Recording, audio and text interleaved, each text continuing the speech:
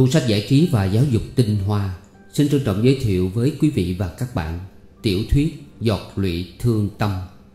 Tác giả Trần Hoàng Nam. Chịu trách nhiệm xuất bản Nguyễn Văn Tài.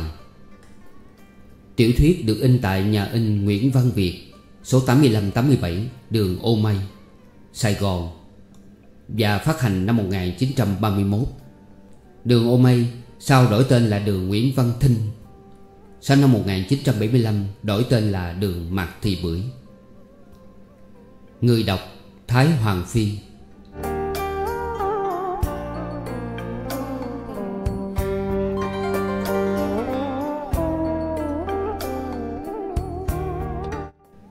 Tập 1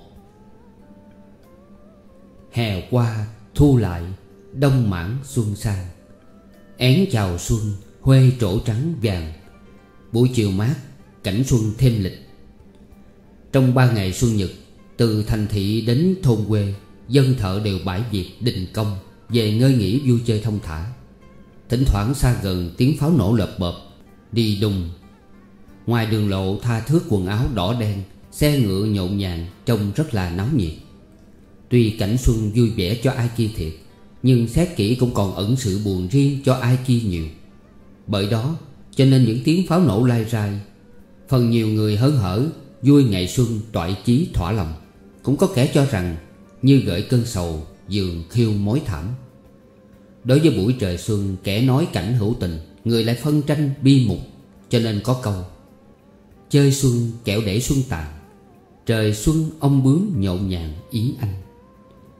Lại cũng có câu, Vui xuân vui cả một trời Buồn xuân riêng để cho người ưu tư. Cảnh chiều người, người tùy cảnh Thành ra phản đối nhau một cách phân biệt đầm thấm đôi bên vậy. Con đường Paul Plancy chạy dài trên cầu kiệu.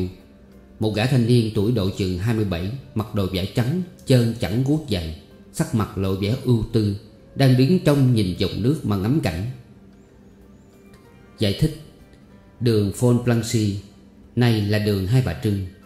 Hết giải thích. Gần bên chàng một cô gái trạc chừng 24 tuổi, Đầu đội khăn đen, Mặc toàn đồ vải đen cục. Trông ra người lam lũ quê mùa. Tuy ăn mặc sơ sài, Chứ cái vẻ đẹp tự nhiên của cô không thua người khuê cát.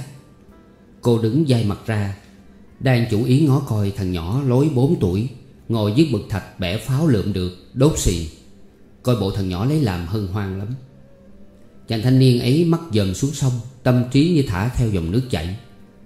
Chập lâu hãy nghe có tiếng người qua lại ồn ào Hoặc xe ngựa rầm rạc chạy qua cầu Thì chàng ấy dai ra ghé mắt dòm. Cái giờ của chàng đây Cầm mắt liếc qua rất lẹ Dường như sao sẹt Nhưng ai để ý thì biết. Mỗi lần chàng dòm qua Sắc mặt có khi vui vẻ, thê thảm Hoặc là khinh bỉ vân vân Chàng ta vui đây chẳng phải ai cho tiền bạc gì Hoặc gặp được một cái hạnh phúc nào mà vui. Suy ra thời biết chàng vui, Vì dòm thấy nước nhà có một thạnh vượng Đồng bào tấn phát, Cho nên chàng mừng thầm, Gọi là chi vui. Mỗi lần xe kéo chạy ngang qua cầu, Sa phu phần bị lên dốc, Phần bị kéo nặng nên thở hào hển. Chàng trông thấy thì thở ra Và lộ vẻ buồn vô hạn. Chàng buồn là buồn, Cũng đồng bào, Cũng nội giống như chàng, Nhưng chưa đủ văn minh tấn hóa, Kém tri thức, Không nghề nghiệp sanh nhai Như các nước ngoại bang. Ba ngày xuân còn ra thân kéo xe chở người. Giả tỷ như là con ngựa. Chàng xem thấy mà buồn. Buồn đây gọi là Sớt thảm với những người vô phước kia vậy. Nhưng buồn nhất là mỗi khi xe chạy qua, Người ngồi trên xe cũng là người An Nam. Dinh mặt dinh mày, coi bộ tự đắc. Hối chạy mau, Biểu đi chậm, vân vân. Chàng xem thấy thở dài Và chép miệng than nhỏ rằng, Ôi, bao giờ mới gọi là văn minh? Chẳng biết lương tâm con người để dụng vào chỗ nào. Chẳng phải ai nhục mạ chê ba chàng, Hoặc chàng ganh hiền ghét ngõ ai mà khinh bỉ. Chàng khinh bỉ đây là khinh những hạng tự đắc đã nói trên kia, Hoặc khi nào nghe tiếng pháo của hạng người xa hoa, đốt, Xài phí đồng tiền như rơm rác. Trí chàng tưởng, Mỗi tiếng pháo có lẽ là một giọt mồ hôi của đồng bào rơi xuống vậy. Chàng ước thầm chứ phải chi, Nước Nam ngày nào sẽ có một cái lễ gì lớn hoặc một ngày nào đặc sắc vẻ vang trong lịch sử Đem ra là một ngày vui mừng chung trong xã hội Được náo nhiệt như buổi xuân chiều hôm nay. Vui, buồn, hờn, giận lẫn lộn nhau Làm cho tâm trí chàng bối rối Hạn xuất chim thân. Thiệt trong đời ít ai mà đa sầu đa cảm hơn chàng được. Giải thích hạn xuất chim thân Tạm dịch là mồ hôi xuất đầy mình. Hết giải thích. Chẳng ai lạ Chàng thanh niên đây họ Trần, Tự là hữu danh, Gia chính trong chuyện này. Người đàn bà đứng kế bên ấy là cô Năm Hường Còn thằng bé kia tên thằng Hạnh, Vợ cùng con của chàng. Lịch sử của ba người ấy Xin độc giả xem tiếp sau này. Ác vàng khuất núi, Khí nóng diện lần. Màu hồng của mặt nhật chói xuống dòng nước, Ngó màu ánh đỏ. Một cái nhà lá cất sùm sụp dây cửa ra sông. Trong nhà trống lỏng, đồ vật dụng sơ sài. Chính giữa nhà để một cái bàn thờ cũ rích Trên vách ngay bàn thờ có treo một tấm chữ thọ Và một đôi liễn bằng giấy. Đã lâu ngày nên màu giấy trổ vàng và thách nát. Gió thổi phất phơ. Phía ngoài có một cái giường tre. Trên giường để một cái gối gỗ, Không chiếu liếp chi hết. Kế đó một cái ghế nhỏ ăn trầu. Trên ghế có một cái khai vuông dồi trắng dính đầy có đốm. Dường như thế cho cẩn ốc. Trong khay một bình vôi với ít lá trầu dụng đã khô queo. Phía vách bên kia có để vài cái vỏ gánh cỏ Và dựng ít cây chèo. Dưới đất gần gốc cột, Một đứa nhỏ mặt mày vui vẻ đang bò chơi Giỡn với con chó vàng, Nhưng chân bị cột vô góc cột với một sợi dây lưng vải. Ngoài sông, giờ này xa xa có một chiếc xuồng nhỏ, Chở đầy cỏ. Hai người chèo coi hăng hái lắm. Khi đến gần xem kỹ lại, Người chèo trước là đàn ông, Người chèo sau là đàn bà. Ấy là xuồng của hai vợ chồng chú ba cậy. Nhà nghèo, hai vợ chồng chuyên nghề cắt cỏ đắp đổi qua ngày. Giây phút xuồng đâm vô rạch, Đầu ngay trước nhà nhỏ đã nói trên. Người vợ buông chèo lật đật bước lên mở dây cột cho thằng nhỏ Và ẩm cho bú. Còn chú ba vào lấy gánh ra ôm cỏ dồn vô Và gánh đi. Trở đi, trở về không biết mệt. Thiểm ba cho con bú được một lát, Liền để cho nó xuống chơi như cũ. Thiểm lo lấy nồi vo gạo bắt lên lò. Để đó Thiểm giỏi lấy hai cái ve chai nhỏ, Xách ra đi. Dì lâu trở về, Thấy trên tay Thiểm có cầm một con khô lóc Trong ve mỗi cái có một chút nước mắm và dầu hôi. Nồi cơm sôi Thiểm bớt lửa và xé con khô ra làm hai, Phân nửa bỏ vào bếp mà nướng. Nướng chín Thiểm đem ra, Xé nhỏ bỏ vào dĩa và đem để trên mâm cây tròn. Liền đó Thiểm ra đằng sau hái ít ngọn rau dền, Rửa sạch đem vô. Cơm vừa cạn Thiểm nhắc xuống Bắt trách lên đổ nước vô nồi nấu canh Với nửa con khô còn lại. Canh chính thảm nổi không có tô đựng. Thiếm nhớ lại cái tô đã uống nước Bèn lấy múc ra Đâm ớt rót nước mắm vô dĩa. Đồ ăn, canh, khô nướng và nước mắm ớt Cộng là ba món. Xong rồi thiếm bưng lên để trên giường. Chén đũa và nồi cơm cũng bưng để kế bên đó. Lại ấm thằng nhỏ đem ra tắm. Thiếm dần chừng xuống rạch. Thời cỏ trong xuồng cũng vừa hết. Phút chốc Thấy chú bà cậy gánh cái gánh không đem vô cất, Xách gạo ra giếng, Xách nước đổ vô khạp. Nước ăn, nước uống đâu đó đầy đặn xong rồi Mới cởi áo ra giặt và tắm. Xong việc thì trời đã tối Thiểm ba rót dầu vô trong đèn con cốc thắp lên. Hai vợ chồng ngồi lại ăn cơm, Thằng nhỏ nằm bú trên mình Thiếm Gió dục ngọn đèn tắt tối mòn Thiếm để đũa xuống ẩm con đi đốt lại. Khi cơm nước xong rồi Thiếm đưa thằng nhỏ cho chú bồng giùm. Còn thím bưng mâm chén ra rửa. Chú ba cậy vói tay ẩm thằng nhỏ và hung trên trán nó. Còn thằng nhỏ vói tay nắm râu ba nó mà chơi và cười. Rửa chén xong rồi thím lên ngồi kế bên chú, Quơ bậy ít lá trầu héo trong khay, Quệt voi mà nhai. Phút chốc, thím vói ẩm thằng nhỏ và hỏi chú rằng, Mấy chỗ bỏ cỏ tháng có đưa mượn trước chút ít chi không mình? Không, Chỉ có mấy gánh tiền mặt như mọi khi mà thôi. Và nói và móc trong sợi dây nịch bố ra năm cắt bạc đưa cho vợ. Thiểm bà giói tay lấy và nói, Mình cất một cắt đây Để dành có thèm rượu thử uống, Còn bốn cắt để mời tôi mua gạo và đồ ăn để dành. Thôi, Tôi không uống rượu chè gì hết á, Bộ má nó tưởng tôi vui sướng chi thì sao? Thì mình bỏ vô lưng cho có chừng đi mà, Rủi gặp anh em ăn xài với người ta chứ. Thiểm nói lắm chú mới lấy bỏ vô dây nịch và nói Y quên lửng đi Sợi dây gai cột xuồng nó gần đứt, Để mai mua sợi khác còn hay hơn. Mình nhớ nhắc tôi nha mình. Thiếm ba ừ. Dây lá thiếp dở chân lên coi và hỏi. Ba nó à Chân tôi mấy chỗ bị đĩa cắn, Máu chảy ra hoài à Làm sao cho hết được hả ba nó? Có khó gì, Má nó hãy lấy vôi phết vô. Thiếm nghe lời làm theo. Đêm nay nhằm 16 Trăng dội tỏ như ban ngày. Hai vợ chồng ẩm con ra sân, Ngồi trên một khúc cây bàn luận việc đời. Gió lai rai thổi, Thằng nhỏ nằm ngủ êm ru Chập lâu thím nói, Hai mươi này tới ngày đám dỗ bà nội thằng danh, Mình nghĩ coi ờ, Bữa đó tiện đâu mà có cúng kiến. Có nhiều cúng nhiều, Có ít cúng ít, Bì theo họ giàu sang sau kịp. Có lẽ ờ, ông bà cha mẹ cũng dòm biết Vợ chồng ta nghèo chứ chẳng không. Hai người ngồi lặng thinh dây lâu chú nói. Tôi nghĩ lại à, thôi thương mẹ nó. Từ ngày đụng tôi đến bây giờ à, Chịu nhiều sự cực khổ Không đặng thông thả sung sướng hơn ai. Bà nó nói nhân đạo nghe phát ghét. Sung sướng làm chi? Miễn vợ chồng biết thương thân nhau Đừng phụ bạc nhau là đủ. Hạnh phúc đôi ta chừng này cũng vừa rồi. Thiểm bà dày qua thấy cái áo chồng rách trên vai một đường Thì rờ và nói. Áo bà nó rách nát như vậy nè, Mà không chịu cởi ra đưa tôi nhíp lại. Để bận vậy chịu được sao hay quá ha. Vì tôi thấy má nó không có giờ rảnh. À mình. Để thằng danh nó lớn rồi tôi cho nó đi học nghe mình. Tôi cũng tính như ba nó vậy. Cho nó học đặng biết chữ nghĩa, Tính toán với người ta. Ngày sau nó nuôi lấy thân nó, Khỏi dốt nát tội nghiệp. Và lại thời buổi này không học thiệt, rất là vô dụng mà. Người khôn nhờ có học là lẽ tự nhiên. Vợ chồng trò chuyện đến khuya mới vào nhà sập cửa xuống nghỉ. Chú ba nằm ngó lên trời, Thấy sao tỏ rạng, Chép miệng than thầm rằng thật ơi sát nhà đã rách nát, Không tiền mua lá lợp lại. Chắc qua mùa mưa chịu không thấu. Hai người làm thinh suy nghĩ, Phút chốc giấc điệp mê man Ngày qua tháng lại như nước chảy dưới cầu. Vợ chồng hữu hỉ nuôi con, Lật bật mà thằng danh được 5 tuổi. Chú ba cậy mới đem nó vô trường làng ở gần cho nó học. Cách vài năm sau, chú ba có phần lớn tuổi. Lớp lo làm lụng quá sức Nên lực giảm suy lần. Ngày kia bị cảm mạo phong sương, Nổi da bần lây lất, Không thuốc men chi ráo. Giải thích, nổi da bần lây lất, Tức là hoàn cảnh gia đình nghèo túng, Hết giải thích. Phần thức khuya dậy sớm Chải gió dầm sương. Nên bệnh càng ngày càng nặng.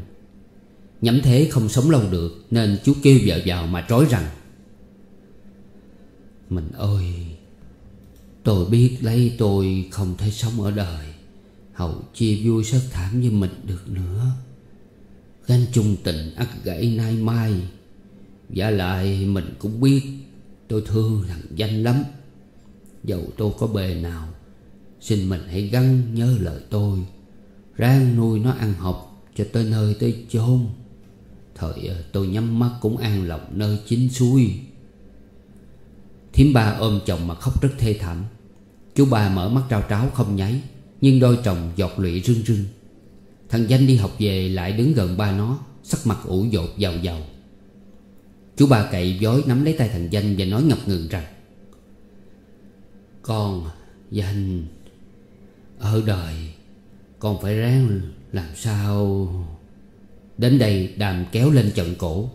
Miệng chú tuy còn nhấp nhép nói mà chẳng ra lời. Hai hàng nước mắt tuôn ra lần sau hết và tắt hơi. Than ôi, Một giấc ngàn thu vĩnh biệt rồi. Thiểm bà giật mình khóc than, Chẳng xiết. Thằng danh biết ba nó đã chết nên cũng khóc òa theo.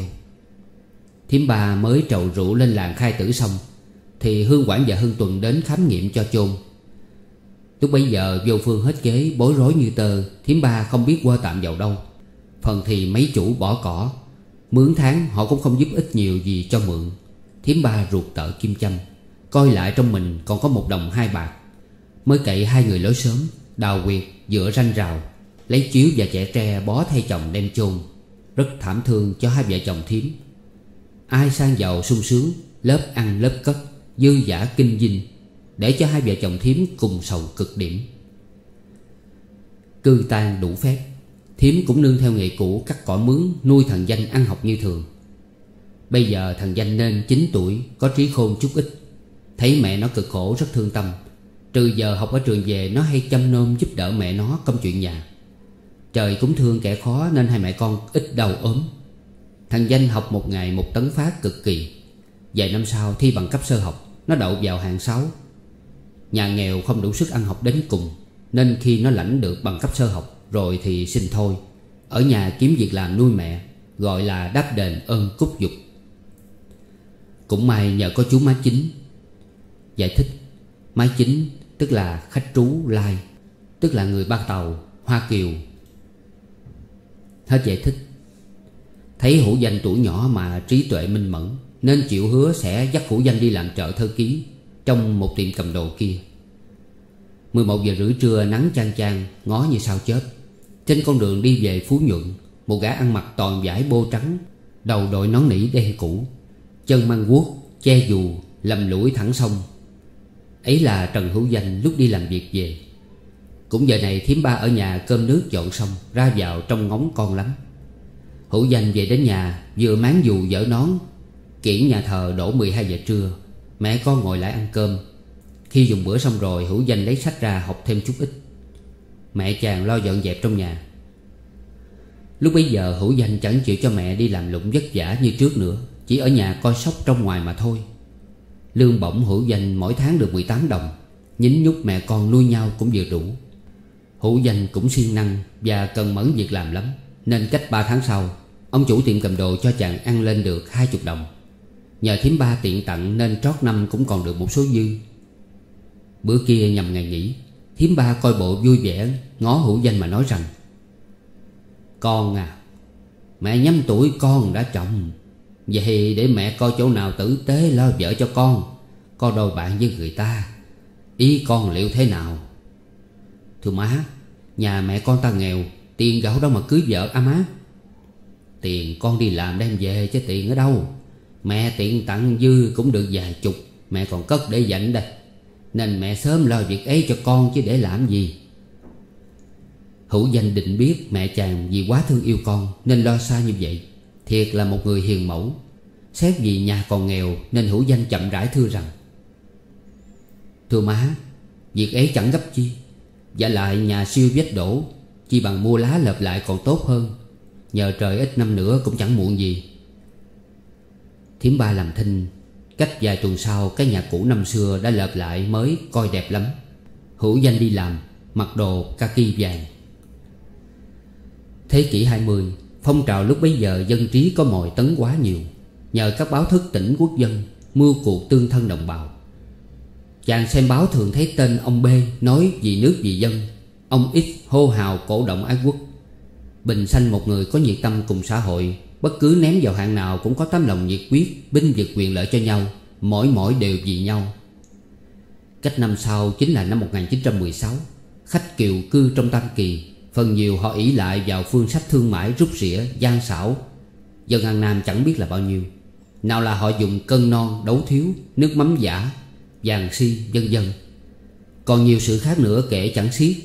Dân An Nam mình lúc hiện thời nhờ ánh sáng dân minh Âu Châu chiếu lần vào. Nói cho phải cũng nhờ vài hiệu báo có giá trị, Mở khai dân trí chẳng còn ngu muội như xưa. Khách trú họ tưởng lầm, Đối đãi với dân ta một cách rất xảo ngược. Đồ ngoại quá của họ mỗi mỗi đều lên giá, Thậm chí cà phê một tách đến 7 tấm xu Những nhà trí thức ưu thế mẫn thời Thầm lo cho quốc dân khỏi cái nạn quẩn bách về sau, Nên cổ động tẩy chai khách trú, Nghĩa là tuyệt giao thương mại với người Tàu. Các báo kêu ca khắp trong lục tỉnh những nhà có tư bổn tuôn ra lập tiệm kêu hùng bộn bàn. Thỉnh thoảng các thành phố đều thấy tiệm bán đồ tạp hóa Tiệm bánh nước, cà phê, dựa than, lúa, củi Lai ra ngoài lộ gánh mì Hủ tiếu cà rem của An Nam Cũng rao gõ lóc cốc vậy dầu ai trong thời buổi ấy cũng cho Toàn thắng tuyệt giao Mà để ý mừng thầm. Hữu danh tuy bề sanh nhai của chàng Thuộc phải dưới quyền người khách Không nói độc giả cũng ngầm hiểu Sự giao thiệp của Ngô Việt lúc bấy giờ ra thể nào. Tuy chủ tiệm cầm đồ không khắc bạc hữu danh cho lắm, Riêng phần hữu danh biết Vì xã hội thẹn thầm mà thôi Chàng nghĩ trong trí rằng Hệ tuyệt giao, Dầu việc chi cũng tuyệt giao mới phải. Chẳng lẽ ta vì xã hội Mà xã hội chẳng ai để mắt đến hiểu dùm, Nên chàng nhất định không làm nữa. Cách tuần sau, thừa dịp đầu tháng lãnh tiền, Chàng mới dở chuyện xin thôi cùng người chủ tiệm. Họ cũng không cầm cộng chi, Phát tiền đủ. Hữu danh giao các sổ sách hoàn toàn, Liền sách nón cứu từ. Chàng thôi làm việc trót tuần, Nhưng mẹ chàng ở nhà nào có hay biết chi đến. Vì thường bữa chàng cũng đi, Cũng về như mọi khi, Mà sắc mặt cũng chẳng được vui. Hữu danh đi đây là đi kiếm chỗ khác làm. Ban đầu xin thơ ký, Tới đầu họ cũng nói không thiếu. Thét lắm chàng đi xin giấy, Họ cũng chẳng dùng. Chẳng phải không thiếu không dùng, Ngặt bị những người vô tâm Ở vào cái địa vị quyền lực trong một hãng buôn, Hoặc sở công nghệ khác Họ lợi dụng tánh đê tiện của họ, Gọi rằng ngoan rằng xảo. Thừa dịp nước đục thả câu Ngắt đuôi bẻ đầu người khốn khó Nên chàng đành phải thất nghiệp. Thậm chí có kẻ nói tận mặt hữu danh rằng Nếu chú muốn vô làm việc trong hãng này Được. Không quyền hành tự nơi tôi đây. Trừ ông chủ hãng ra Dưới chẳng còn ai. Vậy à, chú phải tính Phải quấy chút ít với tôi Mới trúng cách lịch sự. Hữu danh thật thà nghe vậy liền hỏi rằng Thưa thầy Chẳng hay muốn cho chúng cách lịch sự, Phải làm sao? Ôi, có khó gì đâu. Là khi tôi đem chú vô làm, Chỉ biểu phận sự đâu đó rành rẽ rồi thờ. Tiền lương tháng, Dầu bất hạn là bao nhiêu, Về phần tôi hưởng, Gọi là giao nghĩa đó. Như chú có bằng lòng Sớm mai lại đây, tôi sẽ tiến cử dùm cho.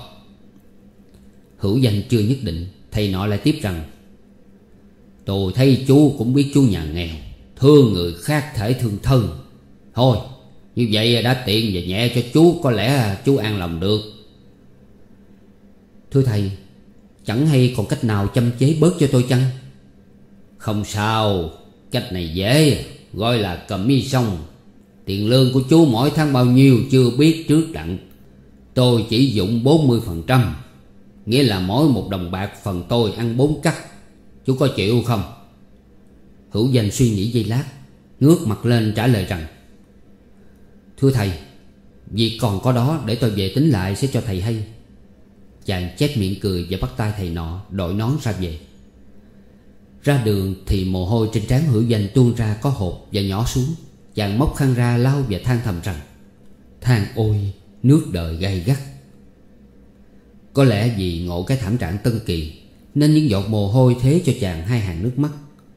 Và đi và suy nghĩ, Mà tới trước dinh chánh soái không hay. Hữu danh nghe trong mình có hơi mệt Và mỏi chân, Bèn tạm ghé nơi ghế xanh ngồi nghỉ.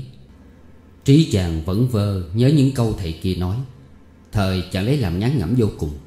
Hữu danh bực thở ra một hơi dài Và nói thầm trong bụng rằng, Bước đời khó khăn ở miệng thế gian ta thường nghe, Bây giờ đây ta mới là được thấy, biết. Giả lại thầy nọ cũng là một người học thức nhiều Đối cùng ta cũng dân trong xã hội, Và một nồi giống, Lại nở dụng cái túi tham rất đê tiện như vậy. Hà huống chi những người vô học Mới thế nào đây? Chứ phải chi họ chiếm được cái địa vị quyền thế như vậy, Họ dân ta dịu dắt đồng bào, Chỉ dẫn cho nhau về nẻo văn minh, Thời quý quá cho xã hội Việt Nam biết bao. Trái lại, Họ vì tiền bạc, Nở xô người vào hang sâu việc thẳm. Than ôi, thế lực kim tiền mạnh bạo lắm đó. Như nhà ta nghèo. Nếu y theo lẽ trước, vô làm, Chịu mất tháng lương đầu cũng chẳng hại chi. Nhưng tháng sau, Tiền đâu mà ăn đặng làm cho tháng kế? Thầy lại gọi là giao nghĩa. Cái cách giao nghĩa của thầy ta Cũng là mới mẻ văn minh lắm thay. Còn y như theo điều sau. Thời thầy hưởng hết 40% Hữu danh ngồi tính rợ. Ờ Như lương của ta mỗi tháng 10 phân Thời về thầy hết 4 như được 20 phân, Thời hết 8 Ta chỉ còn có 12 đồng mà thôi. Với số 12 đồng bạc Cảnh gia đình ta chi dụng cũng vừa đủ. Nhưng có một điều ta ngại là chẳng biết, Với 8 đồng tiền commission mỗi tháng Thầy thâu dụng vào đâu? Hoặc làm việc nghĩa, Hoặc giúp ích quê hương chẳng nói chi. Thoảng như thầy dụng vào lối xa hoa, Mua cuộc vui, Chuốt trận cười trong tứ đổ tượng Thời càng gây hại thêm cho thầy, Cho gia đình thầy và xã hội nữa. Thà ta chịu bó tay chờ cơ hội khác còn tốt hơn. Chứ đã trót vì tiền bạc, Dấn thân làm nô lệ vào lòn ra cuối, Mà còn phải như thế ấy, ắt lương tâm ta bức rứt, Chịu không thấu. Suy nghĩ đến đây, hữu danh bèn bỏ qua, Đứng dậy trở gót lần về nhà. Đêm dài canh vắng Dưới bóng đèn lu, Trăng dội ngoài sân, Gió đông hiu hắt. Giờ này người người đều an giấc, Duy một mình hữu danh thốn thức xốn sang. Ngồi suy sâu nghĩ cạn thêm chua xót gan vàng, Mặt ủ mày chau. Một bầu tâm sự biết ai cùng phân tỏ. Chàng nhẹ tay mở cửa nhắc ghế ra ngồi nơi sân, Phẳng lặng êm đềm, Trăng trong gió mát. Trai nhiệt thay cho mấy con nhái bầu dưới mương Kêu kẹt kẹt như dục mối sầu. Rỉ rả giọng tiêu, Văng dẫn khi trầm khi bổng Của mấy người đi ghe thương hồ đậu ngoài sông, Trỗi khúc nhạc khoan Ai vô sự nghe qua cũng bắt chạnh buồn. Hà huống hữu danh đa sầu Không dục lòng xúc cảm. Biết bao là câu bi oán, than thân, tội phận. Ngồi đứng chẳng an, Chàng mới rảo bước đi quanh nhà cho khuây lãng. Vừa đến phía sau, Cận ranh rào, Hữu danh chợt trông thấy nắm mồ của cha, Đứng nhìn ngơ ngẩn. Trí chàng tưởng tượng như thấy thay cha nằm trên khơi Sát bó giặt tre và chiếu, Hai hàng nước mắt đoanh trồng Bước lại gần sụp xuống ôm lấy mà than khóc. Cha ôi, con bất hiếu Ngày nay đã đủ trí khôn, Nhớ biết mọi điều. Lòng con thương thân cha vô hạn. Con rất ăn năn là ơn cha, Con chưa chút chi gọi đáp đền, Mà cha đã vội lìa trần thế. Con cũng biết chốn cửu tuyền Cha hằng để mắt trông coi những sự của con làm, Chứ chẳng không. Cha ôi, Dẫu đường đời khó khăn đến bực nào, Con hứa cũng ráng chịu theo. Chuộng tránh xa tà, Cho vừa làm cha nơi chính suối, Con mới an tâm đó cha ôi. Dựa vách Tiếng gà vỗ cánh gáy sáng, Chàng giật mình lau lụy, trong lại nắm mù không, Cỏ một xanh rì. Bèn đứng dậy trở vô nhà, Vào phòng nằm nghỉ, Phút chốc mòn mỏi, ngủ quên. Sáng ra Trần Hữu Danh cũng thức dậy sớm như mọi bữa, Bận áo đội nón ra đi như thường. Chàng già đi và nghĩ trong trí rằng, Phen này ta phải ráng làm sao kiếm cho được sở làm. Dầu nghề chi cũng được, Miễn có cơm nuôi mẹ và nuôi lấy thân là đủ. Chứ nếu ở không như vậy hoài Lâu ngày ắt mang khốn. 6 giờ rưỡi buổi sáng mai trước một hãng xe hơi kia Ở đường Bellerin, Anh em lao động thợ thuyền, Kẻ đứng người ngồi trò trò chuyện chuyện, Đợi đúng giờ cửa mở sẽ vô làm công. Giải thích, Đường Bellerin Xưa, Nay là đường Baxter Là một con đường chạy dài băng qua quận nhất và quận 3 của Sài Gòn.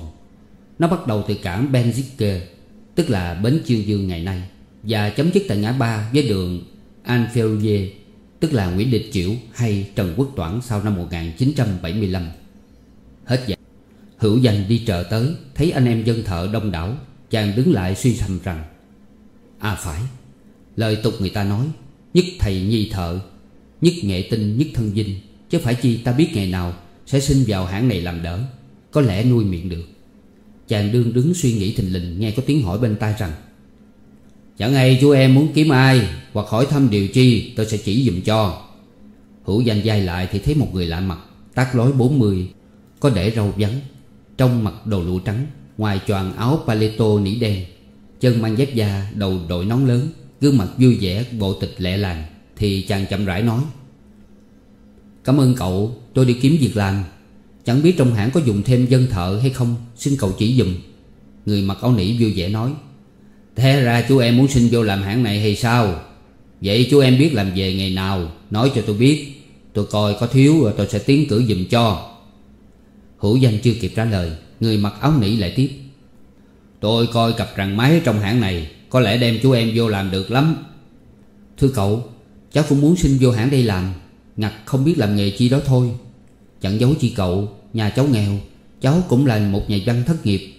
Xin cậu thương coi có việc chi dễ dìu dắt cháu vô làm, Kiếm cơm nuôi mẹ và nuôi miệng. Ngày nào cháu còn sống trên thế, Thời cháu hằng ghi nhớ ân cậu chẳng dám quên. Người mặc áo nỉ nghe nói có vẻ lo ra Và sắc mặt hơi buồn. Người buồn là có ý buồn dùm cho hữu danh, Lo ra là lo ra dùm cho hữu danh mà thôi. Vì lâu người ấy dường như nghĩ ra chuyện, Bèn vỗ vai hữu danh mà nói rằng, Không sao, Miễn là chú em chịu cực một chút. Có lẽ được. Tôi còn một kế giúp chú em là chờ người xếp tay lại. Thời chú em cứ việc xin vô, Làm thợ máy, Vào trong được rồi à, bề nào cũng có tôi đỡ gạt dùm cho. Bình xanh tôi thấy ai nghèo à, tôi thương lắm. Người mặc áo nỉ nói vừa dứt tiếng, Thời nghe chuông đổ ôm sầm Cửa sắt mở ra, dân thợ lần lượt kéo vô. Người mặc áo nỉ dặn thêm hữu danh rằng, Chú em đừng nhút nhát, Tôi đã hứa giúp chú em thì tôi sẽ hết lòng. Sau rồi chú em sẽ biết tôi? Nói rồi sắp lưng bước vô hãng. Vừa tới cửa, người ấy dai lại ngó hữu danh Và chỉ một người Tây bận đồ xanh ở đằng kia đi lại. Hữu danh biết ý nên khi người Tây đi gần tới cửa hãng, Vừa bước quanh vô, Hữu danh đón lại dở nón chào và nói tiếng Pháp, Hơi thiết yếu rằng, Thưa ông, tôi làm nghề thợ máy, Xin ông làm ơn cho tôi xin vô làm việc. Nghề máy chú có khá không? Thưa làm được chứ không giỏi lắm. Được, vậy chú hãy theo tôi. Hữu danh nói gót theo người Tây ấy. Khi vô hãng rồi, bèn kêu người cặp rằng khi nãy giao cho Và dặn coi người ấy làm, Rồi bỏ đi qua ngã khác. Người mặc áo nỉ khi nãy bây giờ mặc một bộ đồ bố xanh, Luôn và quần và áo, Đầu đội nón trắng, Đính đầy những đốm dầu nhớt Nên hữu danh xem hơi lạ. Người ấy bước lại nói, Thôi, chú em hãy theo tôi. Hãy tôi biểu làm chi thì làm nấy, Nhưng phải để ý một chút mới được. Hữu danh chỉ nói một câu vắn tắt. Trăm việc cháu đều nhờ cậu Và lẽ bước đi theo. Đến một cái văn phòng rộng rãi kia, Thấy để đầy những xe hơi hư. Cái mới, cái cũ, Cái còn nguyên, Cái tháo mở ra tăng tành, Coi rất bề bộn. Ngó tứ phía, thời thấy dây trân chạy liền do, Tiếng búa đập sắt nghe rang rãng chẳng dứt. Đến một chỗ để cái xe Ford lớn, Có ba người thợ máy đang sửa. Người ấy biểu hữu danh cởi áo ngoài ra máng bên vách tường. Xong rồi ngồi xuống mà chỉ một con ốc lớn ở dưới dàn máy, Đưa kèm và biểu chàng lót bố chung nằm ngửa ở dưới mà mở. Cặp rằng dặn chỉ cách thức xong xuôi bèn đứng dậy. Hữu danh lấy làm lo ra, Vì thỏ giờ chưa để tay vào việc máy lần nào Nên rất bợ ngợ Nhưng Trí định mở ra cho được con ốc ấy mới nghe. Chàng tay sách kèm và chung xuống gọn gàng, Nằm ngửa, Lần hồi tháo con ốc ấy. Người cặp rằng bước vòng qua nói nhỏ chi với mấy người thợ cũ, Nghe không được và bỏ đi thẳng. Hữu danh và Tháo và lo ra mà cũng gần xong Một chập nghe tiếng giày đi đến lợp cợp. Tiếng người xếp tay hỏi cặp rằng, Người thợ mới vô làm ở đâu? Người cặp rằng lẹ miệng chỉ và nói Tôi biểu gia mở thử ống chấp măng, Coi được không? Ông cũng biết chỗ đó ráp mở gì cũng đều khó hơn hết. Người Tây gật đầu. Hữu danh nghe tiếng người Tây xếp nói chuyện gần bên. Thời chàng cầm cái kềm không muốn vững, Nhưng ráng hết sức mới mở được con ốc đưa ra. Người xếp tay dối lấy cầm coi Và cật đầu nói chi nhỏ nhỏ với người cặp rằng Rồi bỏ đi qua chỗ khác. Người cặp rằng coi bộ vui, Biểu hữu danh chung ra dở phụ dàn xe Với hai người thợ cũ, Và biểu một người thợ khác chung xuống mở cho mau rồi. Hữu danh làm coi bộ gọn lắm, Dai qua trở lại mệt đổ mồ hôi. Lật bật 11 giờ trưa, kiển đổ, Dân thợ đều đi rửa tay mặc áo ra về. Hữu danh cũng lại lấy áo mặc vô, Thời thấy người mặc áo nỉ hồi sớm bước lại nói Chú em theo tôi xuống chợ ăn cơm, Rồi buổi chiều sẽ làm nữa. Hữu danh lật đật đi theo. Đến một căn phố có người ăn nam bán cơm, Hai người bèn ghé vào, Kéo ghế ngồi xuống. Người mặc áo nỉ biểu múc đồ ăn đem lại, Nào canh cá, thịt đủ thứ ê hề. Người áo nỉ nói, Thôi, chú em hãy cầm đũa, Cứ việc ăn no đi, Cũng quá buổi rồi. Hữu danh bưng chén lên và một miếng rồi để xuống ngồi ngó người cặp rằng trân trối, Quên nhai, quên nuốt. Người cặp rằng dần thấy biết ý, bèn nói, Cứ việc ăn no đi, Hơi sức nào ngồi ngó mãi vậy? Chẳng phải tôi để chú em trả tiền đâu mà sợ. Chú em nó chớ nghi ngại điều chi.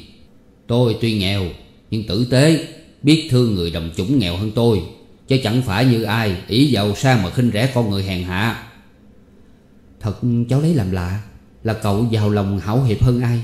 Đối với hạng người có học thức vô vị kia Ví như cồn với vật vậy.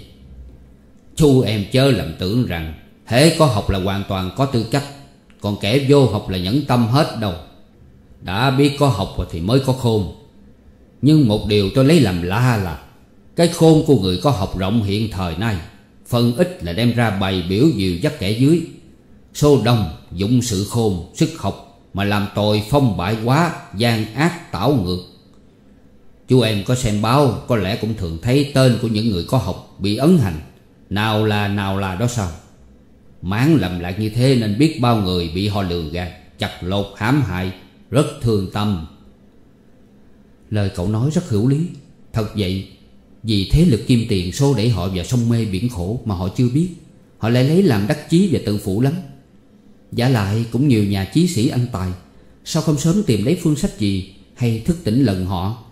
Quay về nẻo chánh là nẻo đoàn thể tương thân, Hoặc mưu kế chi trừ tuyệt họa vô vị ấy Mới là trong hưởng hai chữ Thái Bình được.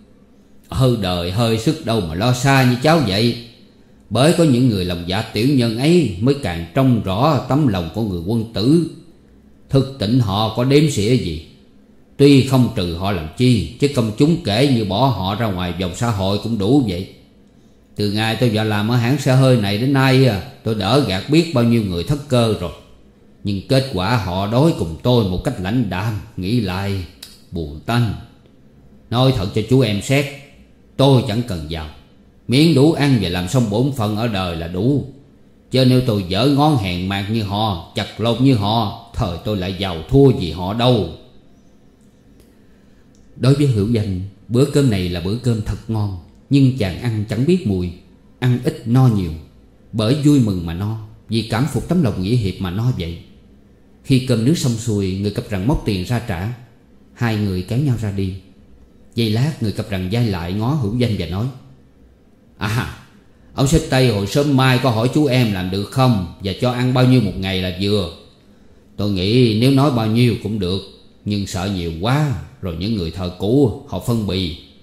Thành ra là bể việc Tôi đã làm ơn lại còn mang tiếng không tốt. Nên tôi nói, Chú em mới vô cho ăn một đồng một ngày là vừa. Ấy là giá nhỏ hơn mấy người cũ. Chừng nào làm lâu, Coi siêng năng giỏi vắng sẽ cho ăn lên.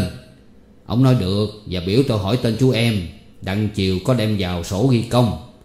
Tôi nhắm có lẽ một đồng mỗi ngày, Chú em đắp đổi nuôi mẹ cũng được. Hữu danh vì mừng và mến tấm lòng tốt của người cặp rằng nên thành ra cảm động, Muốn tỏ lời cảm ơn xứng đáng, Nhưng chẳng biết phải nói cách nào, Chỉ có ngó mà thôi. Ngày giờ thấm thoát như nước chảy dưới cầu, Lật bật giờ làm buổi chiều đã đến. Hữu danh cũng vô làm như buổi mơi, Ai sai đâu làm đó. Kỳ trung chàng không hiểu món nào. Hữu danh và làm và suy nghĩ trong trí, Không biết người gặp rằng bận áo nỉ là ai, Mà lòng nghĩa hiệp tốt như thế. Chừng hỏi lại mấy người thợ cũ, Thời mới biết là Nguyễn Văn Thi. Người thì kêu cậu Sáu, Ở miệt cầu muối. Ngày ấy mẹ của Hữu Danh ở nhà trong con vô hạn, Chạy ra chạy vào chẳng biết có điều chi rủi ro xảy ra chăng Mà không thấy con về trưa. Trời càng ngày càng tối, Hữu Danh mới ra cửa, Về tới nhà gần 7 giờ. Mẹ Hữu Danh trông thấy con về, Mừng rỡ lật đật hỏi han, Có có điều chi xảy ra chăng? Hữu Danh thưa dối rằng, Bị nhức đầu, Phần trời nắng về trưa sợ đau, Nên ở lại nghỉ tại tiệm. Cơm nước xong rồi Hữu Danh phần trót ngày làm mệt nhọc. Vì chưa quen lao động, Nên tay chân bủng rủng Nên đi ngủ sớm hơn mọi khi. Thôi đưa rất chóng. Tính ra Hữu Danh làm được một tháng rồi. Ngày nghỉ chàng có đến chơi nơi nhà Sáu Thi, Nên bữa lãnh tiền xong rồi, Chàng nhắm chừng hướng cũ mà thẳng tới. Đến nơi căn phố của Sáu Thi ở Hữu danh dòm vô, Thời thấy đóng cửa. Hỏi thăm lân cận nói rằng, Anh cặp rằng chưa về tới. Chàng mới ngồi chồm hởm dựa thềm gạch mà đợi. Giờ này cậu Sáu Thi còn ăn cơm 7 giờ rưỡi mới về tới nhà. Ngoài cầu bước vô thấy có dạng người ngoài khai cửa, Sáu Thi cũng chưa rõ là ai. Lúc đến gần nhận biết hữu danh, Sáu Thi hỏi lớn rằng, Ủa, Giờ này sao chú em chưa về? Còn ghé lại đợi tôi làm chi? Hoặc tay phát thiếu tiền cho chú em chăng? Thưa không phải, Cháu có một việc muốn nói cùng cậu.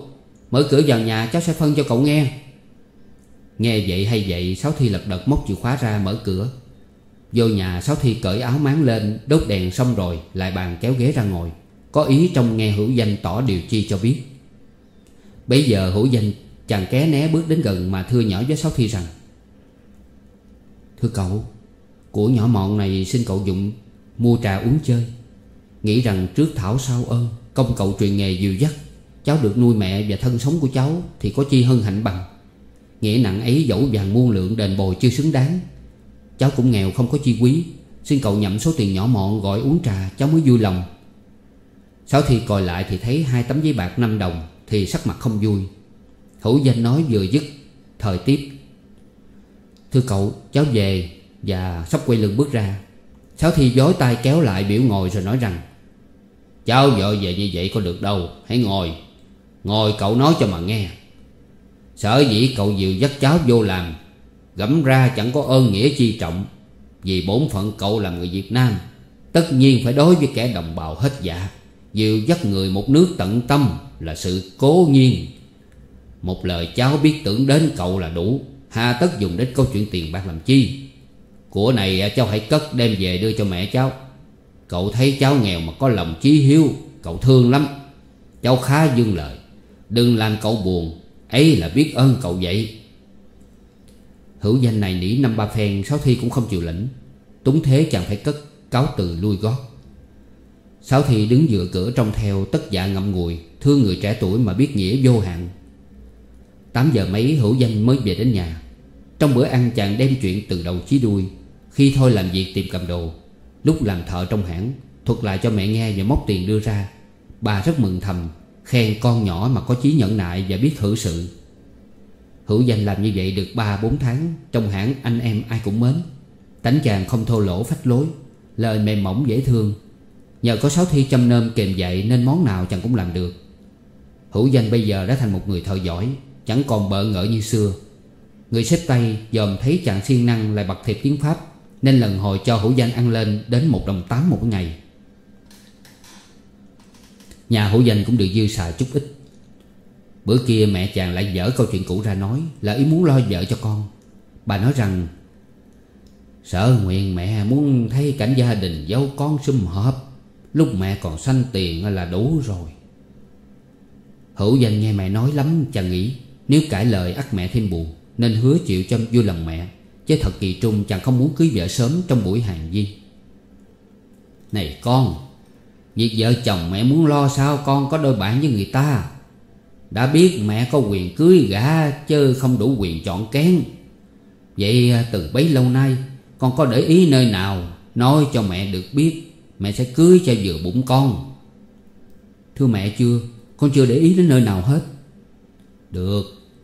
Phần mẹ à, Thời mẹ thấy con gái của vợ chồng anh Tám chạy cưa Ở làng trên Cũng một lứa với con. Dạ tánh nết nó nhu mì dễ thương lắm, Chẳng biết con có vui lòng chăng. Người nào mẹ thương được, Thì vợ của con cũng vậy. Con cũng không chọn kén tốt xấu chi hết, Miễn tài đức đoan trang thì thôi. Phàm những việc trước mắt mà không làm, Thời dẫu mấy năm cũng chưa rồi. Còn chuyển xa nhàn dậm Ra công gắn chí Thời thấy kết quả xong xuôi. Nên cách hai tháng sau, Việc lễ hỏi con gái nhà Hầu Quỳnh đã hoàn toàn Xếp đặt đâu đó an bày Chờ ngày tốt làm lễ cưới. Mồng 7 tháng 7 là ngày gì Mà nhà của hữu danh khách khứa đông dày Treo bông trắc tụi Màu vàng đỏ xem rất lịch sự. Những câu, mừng cháu nên đôi bạn, Chúc anh chồng vợ trăm năm nghe liền tai. Thỉnh thoảng tiếng đông người cười rộ lên, Thật là một tiệc trong ra có vẻ quan lạc. Gần tới giờ rước dâu, Trước nhà thấy có năm cái xe kiến đã trực sẵn. Ông Mai chàng rể và họ hàng đều bước lên, Nhắm đằng nhà cô dâu dục gió. Nửa giờ sau, nhà đàn gái đã đến. Ông Mai chàng rể đều bước xuống, Có kèm anh rể phụ bưng quả đứng kế một bên. Họ hàng đứng sau sắp một hàng dài. Ông Mai móc đồng hồ trái quýt ra coi, Thấy còn thiếu 5 phút nữa nên chưa vào được. 5 phút có bao lâu, Giờ nhập môn đã đúng. Ông Mai lấy phong pháo ra, đốt, Tiếng nổ vang rền. Tiếng pháo dứt chập lân, Mà trong nhà đàn gái không nghe pháo trả lời. Ông Mai dường như có ý lo ra Nên bước tới, thụt lui ngóng cổ dòm, Bộ tịch khó nín cười được. Chập lâu thấy ông Quỳnh Văn Mẫn tác độ 50 Mặc áo dài khăn đen, Bước ra mở cửa và nói với ông Mai rằng, Ông làm ơn thưa dùm lại với chị tôi và cháu Cùng bà con lớn nhỏ rằng, Nhà tôi có việc không tiện đốt pháo trả lời. Xin mời vô nhà đàm đạo. Ông Mai lui lại cho hay, xong rồi, Họ hàng lần lượt kéo vô. Trong nhà, ông Quỳnh Nhân Mẫn chân diện coi khéo lắm, Nhưng khách khứa không được mấy người. Trên bộ dáng bên hữu, Vài bà lão đưa ngồi nhai trầu. Bên tả, năm ba ông già bịch khăn xanh đỏ Đương phì phà khói thuốc. Ngoài ra, một vài cô qua lại dưới nhà bếp lén dòm lên mà thôi. Phần ngồi thứ xong rồi, Ông Quỳnh Nhân Mẫn đứng dậy, châm trà rót rượu Dậm dở câu chuyện. Thời nghe mẹ hữu danh, Cất tiếng hỏi Thế khi sớm anh bận nhiều việc Nên anh không kịp cho bà con hay sớm mà thì phải. Thưa chị, Tôi cũng có mời đều Và cũng có tới đủ mặt rồi à, Nhưng Nhưng sao vậy á anh? Nhưng bà con họ họ buồn ý Nên à, cứu về sớm hết. Ai nấy họ đàn trai Nghe nói câu ấy đều lấy làm lạ, Lấy mắt nhìn nhau, dường như hỏi ý, Coi định vì đâu mà ra như vậy. Bây giờ bà Tám trại cưa, Vợ của ông Quỳnh Nhân Mẫn, Ở nhà sau bước lên chào hỏi từng người. Xong rồi lại đứng gần bên ông, Mà sắc mặt không vui. Ông xui gái ké né khởi sự nói, Thưa trước nữa chị và ông Mai, Sau nữa cháu cùng bà con. Hôm nay vợ chồng tôi lấy làm buồn Mà tỏ thật câu chuyện chẳng vui này.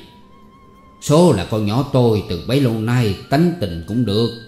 Vợ chồng tôi rất mừng thầm và yêu mến lắm. Nên không để ý.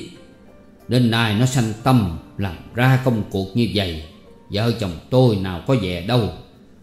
Hồi sáng này nội nhà thấy vắng nó, đều kêu kiếm. Mới hay nó đã cuốn quần áo mà trốn theo ai đâu rồi. Thiệt nhà tôi lấy làm bất hạnh lắm. Nhưng việc đã lỡ, Biết làm sao được. Ông nói đến đây có ý giận dữ nên nói lớn. Nó chết là nó sẽ chết về tay tôi. Ngày nào tôi gặp mặt Tôi đẻ nó được mà. Hư mà làm xấu như vậy Thời tôi giết nó chết được chứ không để đâu. Tha tôi chịu ở tù. Bà Tám xen vô nói tiếp. Chuyện tơ tóc đã dở lỡ rồi. Xin chị và cháu cảm phiền. Những lễ vật đi nói và viếng dâu tôi còn cất y nguyên đó. Riêng lại vợ chồng tôi xin tặng cho cháu một số tiền nhỏ mọn là 50 đồng. Gọi là sở phí mà lo vợ nơi khác cũng tốt và chẳng muộn. Đến đây Người người đều nghe rõ câu chuyện. Ngạc nhiên ngó hai mẹ con hữu danh, Đợi nghe coi trả lời thế nào. Thời thấy mẹ hữu danh bước xuống dáng mà nói, Thưa anh chị, Con nhỏ của anh chị tôi để ý thương đã lâu, Nên định cưới cho con tôi. Tưởng việc được kết quả, Về đâu xảy ra như vậy thì thôi. Không lẽ buộc anh chị phải bồi thường, Coi sao phải. Ở nhà bà con tôi à, Những tưởng đến cộng lạc chia vui với anh chị. Kết nghĩa xuôi gia. Nay hay tin buồn, thời sớt thảm cùng nhau cũng tốt rồi. Bà vừa dứt tiếng, Hữu danh đứng dậy, gương mặt tươi tỉnh, Vòng tay nói, Thưa hai bác, Cháu cũng không buồn chi, Vì định có lẽ cô hai và cháu không có duyên chẳng nợ. Nên mới khiến xuôi ra như vậy. Cháu cũng mừng thầm và gian giái cho cô hai Cùng ai trăm năm chồng vợ lâu dài. Phần cháu để thủng thẳng cháu sẽ chọn nơi khác. Với số bạc hai bác định uh, cho cháu Thời cháu không dám nhận. Và những lễ vật mẹ cháu đã dâng đến đây rồi Không tiện đem về được. Xin hai bác nhậm lời. Cháu biết điều phân như vậy Chứ những lễ vật ấy Bác cũng là người có lương tâm Nhận sao đành. Nếu cháu phân vậy là không thương bác Để sầu cho bác đó. Ông Tám mấy phen từ chối. Túng thế mẹ hữu danh mới chịu lãnh về. Câu chuyện vừa xong Trà nước sơ sài.